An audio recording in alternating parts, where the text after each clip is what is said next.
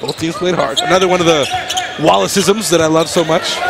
Bruno, oh. great move from Hey! Caboclo, and finally a little emotion That's from Bruno.